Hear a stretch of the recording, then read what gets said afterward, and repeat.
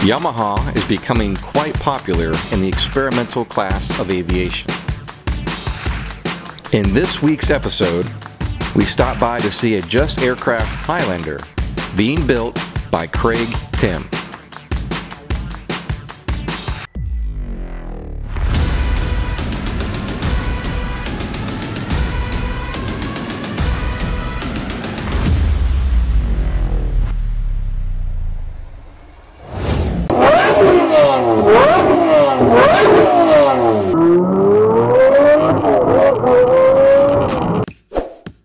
Craig is a man who is passionate about exotically engineered vehicles.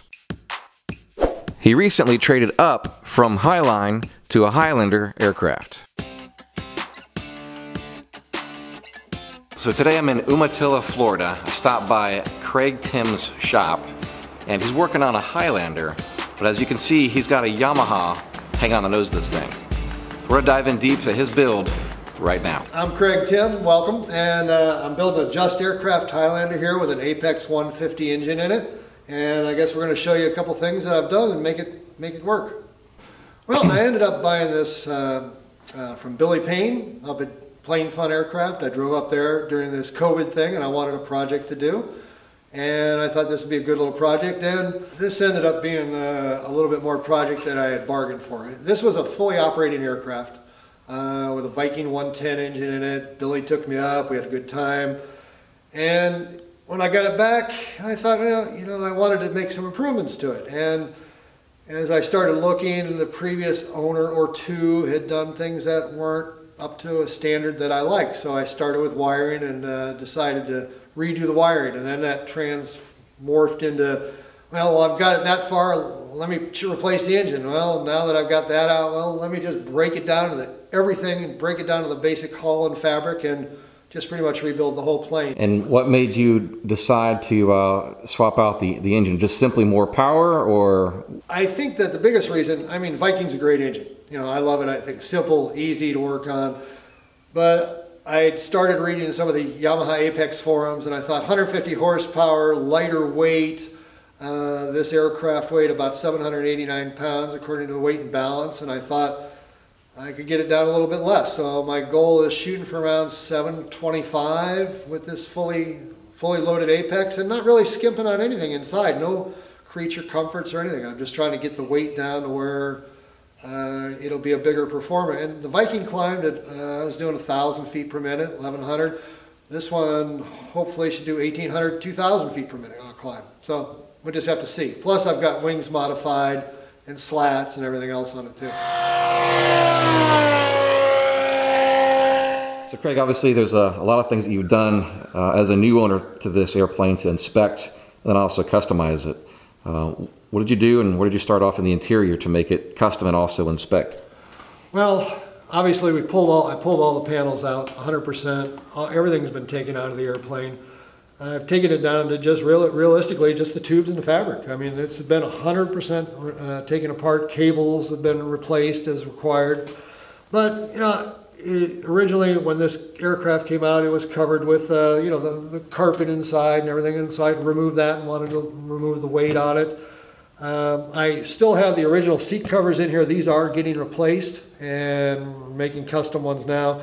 And control stick boots have got to be done yet. Um, made closeouts out of ABS plastic and bins underneath the seats out of ABS plastic. Uh, all the floor panels are new uh, because the old ones were all dented up and they had old powder coat on, so it was just easier to start with new.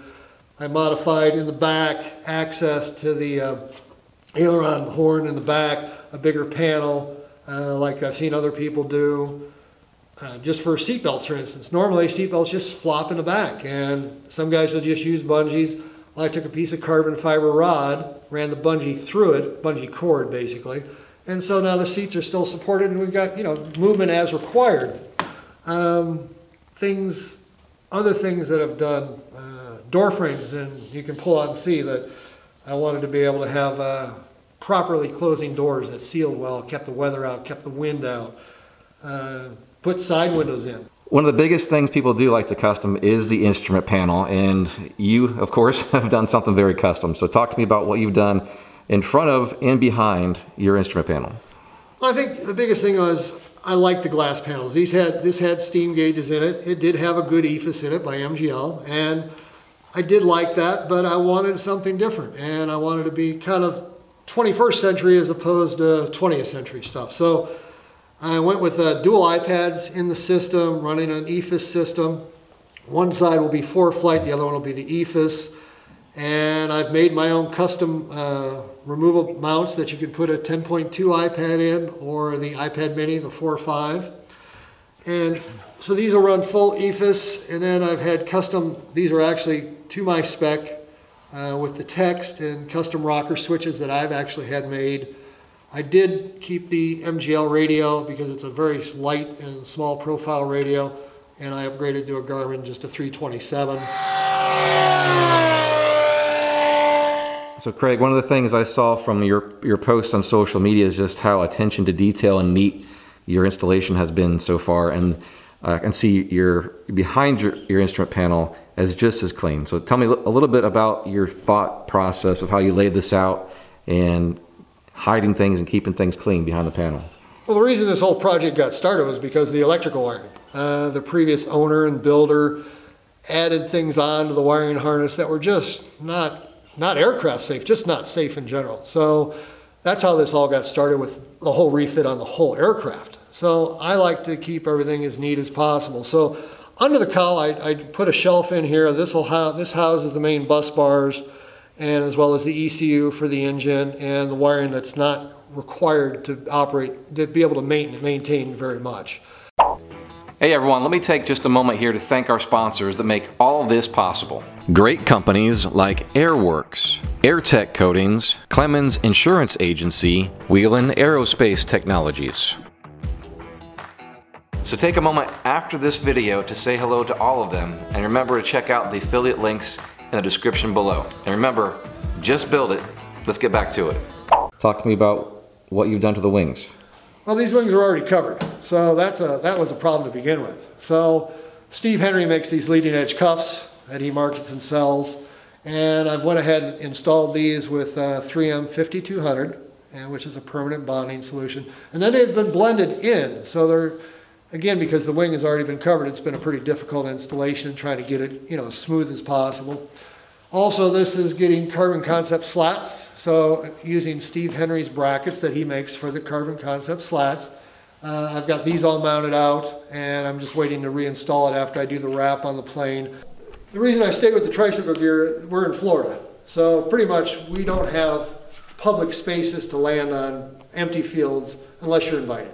So we're pretty restricted on that. However, where I live in central Florida, there are three or 400 lakes, which is perfect. And eventually this is going to get converted to float. So I went with the tricycle gear initially and left it there.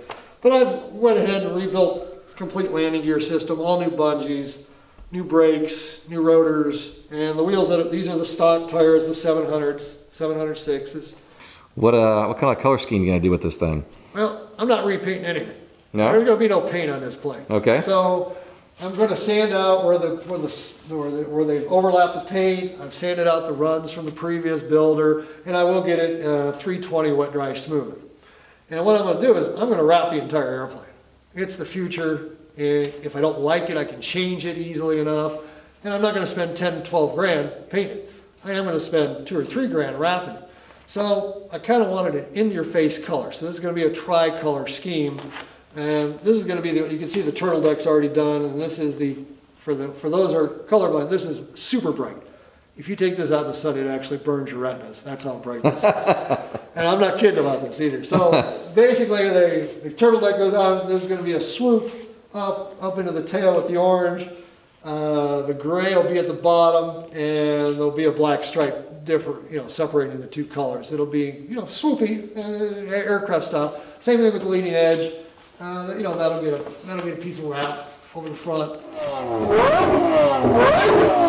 All right, and now what everybody's been waiting for this entire video for you to talk about is this Yamaha hanging on the front of your firewall. So tell us where you got it, how you acquired it, and why you chose it in the first place.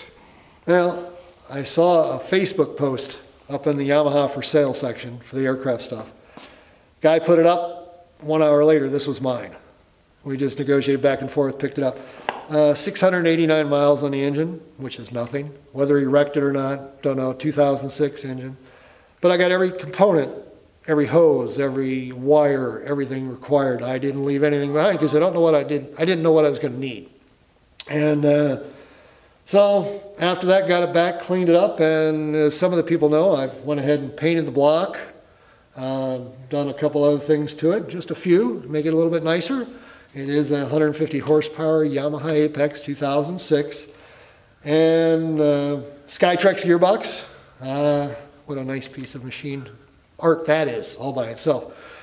Um, I carbon dipped the uh, rocker covers and wrapped, made a custom uh, intake cover here for, not an intake cover, but a, a fuel injection cover to hide all the ugliness uh, underneath and the injectors and everything, the wiring. Custom air filter intake uh, system that I made up, as well as all the hoses, radiator, the radiator mounts, oil tank. I mean, there's not too much things on this engine I really haven't touched. I didn't break the block open, obviously, but everything else has been done on the engine. Yeah, the radiators uh, looks to be purpose built, but where did you acquire that from? Uh, as having owned a ZX14 in the past, I had been looking at the cowl and um, to see if I could get anything in there because because the tricycle gear created a whole bunch of different problems that weren't anticipated. Um, normally, the radiator would mount underneath uh, the firewall area, and uh, there's no room because the tricycle gear takes up that and it cuts through up into the, up into the mount area and everything else. So this is out of a ZX14, and I made uh, and it comes like this with the curve anyway. That's that's as far as it does. It comes like this, but all the radiator mounts are on the other side of the uh, radiator as well as the radiator cap, and I've eliminated everything on the other side, including the radiator cap and the vent, and I've relocated the hose outlets to the to the side that's required and it just came out perfect. I mean, it fits within a half an inch of the cowl, and I still got to make a couple little rubber pieces up here to really seal it off, but it's going to work very well. So it's designed for 1.4 liters. This is one liter, so we should have more than adequate cooling. So Craig, the only experience I really have so far with Yamahas is the the trendsetter here with Steve Henry. Yep. And he runs a fully open exhaust with his turbo now because obviously he does a high competition STOL. You've got a full length header and a muffler. Talk to us about your exhaust system for a minute. Well, you could buy an existing header anywhere from made for the specifically for the Apex, anywhere from a thousand to two thousand dollars. Well, I am on a little bit of a budget, even though it doesn't kind of look like it, you know. And I wanted to be able to experiment on my own. I don't want to just sit there and buy something if I can make it. So uh, I did some research, and this is off a Suzuki Samurai, uh, the late '80s, early '90s stuff, and it's a four. It's a four into two into one. So two pipes go into one, and then the two separate pipes go into the collector. And I did use, a, I had to recut the flange off, and I reused the Yamaha flanges. And you know, one of my welds wasn't pretty, so I decided to wrap it, and that came out pretty nice as well. But I did use, uh, instead of bolts, which normally Yamaha come with, I did use studs. And the advantage of studs is um, it's just a lot easier to get it off. The gasket sets in place. You don't have to fuss with it. And these are the little copper nuts you see here are from a BMW. They are 10 millimeter out OD and 8 millimeter ID, and they are designed for BMW exhaust. They are copper, so they won't seize to the stud. So just kind of a nice little thing. I've done that in my automotive thing. So I've wrapped the header, and it is a stock header with the exception of the flange. Now you do have to cut a pipe, in other words, to get it to expand to the pattern a little bit, but nonetheless. I made a little uh, Z bracket under there, and then this is um, 2007, 2006 through 2008 Suzuki Hayabusa muffler that was a takeoff back in the day, and brand new in the box. I got two of them. I moved one on, so I custom made a bracket as well for the for the mount that mounts to the Highlander as well as the, the um, flange, and it's got a um, a mesh joint on it to absorb any vibrations and everything, so it shouldn't it shouldn't crack, but we'll see.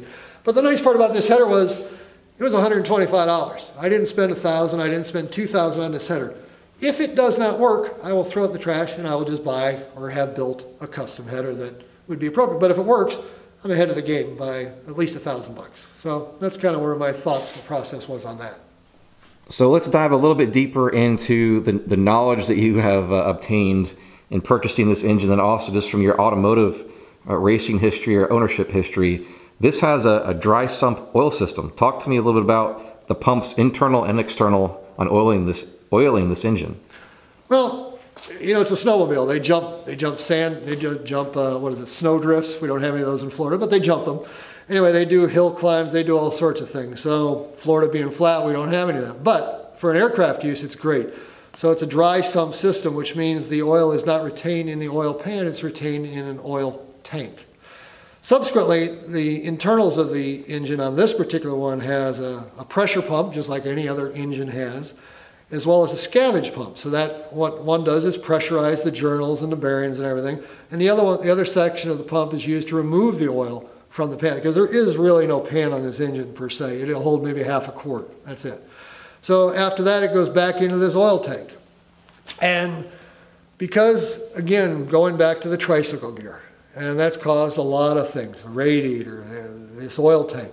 So if I didn't have to modify, if I didn't have the tricycle gear, I could have just used the stock Apex tank right off the bat, didn't have to make anything. But because I have the tricycle gear strut going through this area, I couldn't mount the tank. So I ended up making a custom tank. It looks flat on this side, and it is, but on this side here, you'll see it's, a, it's two triangles basically put together. So the oil is uh, fed to the pump out of the bottom, and the return is at the top, and that's internally baffled. So it, even though what you see on the external tank, there is a perforated tube. There's a section in there that keeps the oil that returns uh, from sloshing around and splashing. And the other two are for vents, and they part of the Apex venting system from the factory. And then it breathes up through the, goes into the air intake system as well for part of the final breathing. And this is the factory uh, oil level sensor that I've also got hooked up, and that also doubles as the oil fill for the tank. And the normal drain, drain valve, drain plug on the bottom, that also drains the tank. So capacity on this tank, actually, I'm running five and a half quarts, uh, but it will hold six. So as part of this radiator system, I also manufactured all the custom hoses and everything and made T-fittings and everything before, but this also is running the Evans coolant in it, which is a waterless coolant. It gives you a higher boiling point, but the nice part about it, in my opinion, is that the system has no pressure. Uh, in other words, there is no radiator cap on this system. It is running because there's no steam, there's no water. Water, water expands and contracts. That's how you get ice and steam. Well, this one doesn't do any of that. It stays there. Now, the, the coolant does expand slightly, and there is a slight expansion tank, but there is absolutely no pressure in this system whatsoever other than the pressure that the water pump may supply to the system itself to move the water around. So it's just running a straight vent, and I got that from a couple other engine builders out there that I thought it was a great idea before, and I still think it is now. So there's no strain on these hoses. Uh, there's never any pressure. These hoses should technically, other than them actually degrading over time, uh, should last the lifetime of the engine. All right, so something else I see different here is your intake plenum compared to some of the other Yamahas. Talk to us about what you've done on your intake. Well, the biggest problem, again, it, it's all back to this tricycle gear. It, it's caused a plethora of problems. So the stock Yamaha box wouldn't fit, the, eight, uh, the R1 box modified wouldn't fit.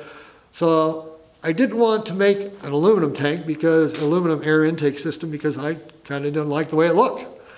Um, I do like carbon fiber, however, this is not, this is just a wrap. But I, I've used the stock intake horns that come on the Apex. And I left them exposed because this looks like a Ferrari or a Lamborghini. And I just thought that was cool looking.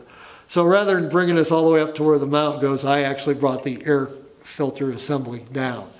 Um, this is a four inch diameter piece of PVC tube. Now it is braced and it, it's solid. It's isolated, however, but uh, so there's plenty of air intake or air velocity through the system and enough CFM through the system. This is a four inch diameter tube. Well, this is a one liter engine, a four inch diameter tube they use on LS7 Corvettes, and those are seven liter engines basically, seven liter, yeah, and they're running a four inch diameter tube. So uh, we're not going to run out of air starvation in any way, shape, or form with this. We could have actually cut the size in half.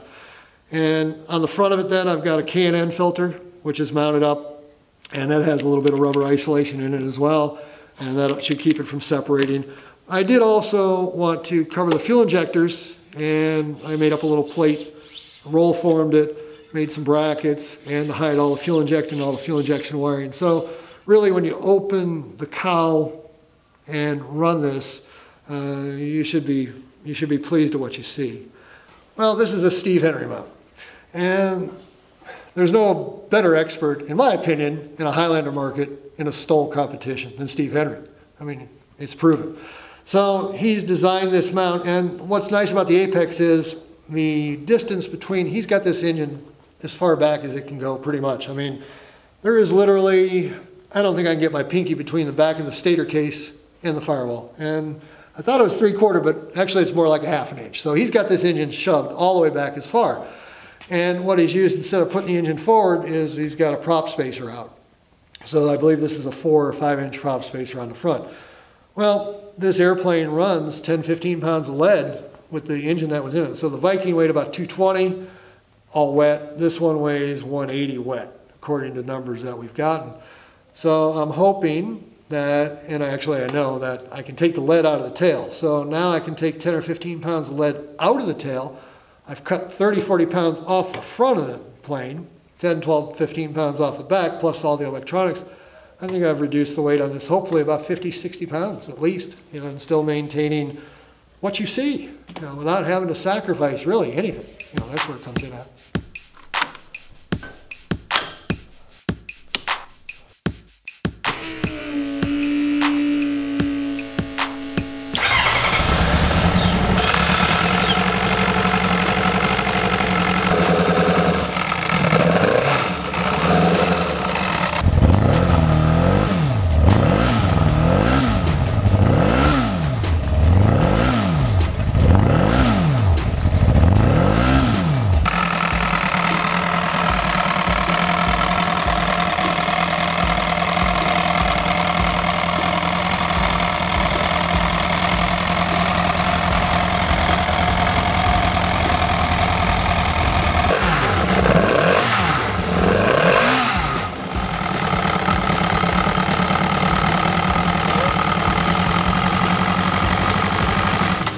All right, Craig, thank you very much for taking the time out of your day to give us a in-depth tour of your airframe and engine. Um, where do you post most of your updates these days for engine work, airframe work, and just to kind of keep people informed of what you're doing? Pretty much, I'm doing everything on the Yamaha, or the Yamaha, the Facebook pages for the Yamaha engines, and also in the Just Aircraft. I do some posts on the Kitfox stuff and some of the Zenith stuff because this also transposes into the other airframes as well, and people should be aware of these great engines that are out there now that technology's come up with and the people that are supporting them have done. Great, great. Well, do me a favor and reach out to me when this thing is flying so I can come back and uh, we can see this thing in the air. I'll let you fly it. Excellent. Thanks. And uh, we'll follow up again in the near future. Very good. I appreciate you coming out and spending the time. Thanks for watching this week's episode of the Experimental Aircraft Channel. I invite you to subscribe, like, and hit all those notifications. I'll see you in the next episode. Thanks for watching.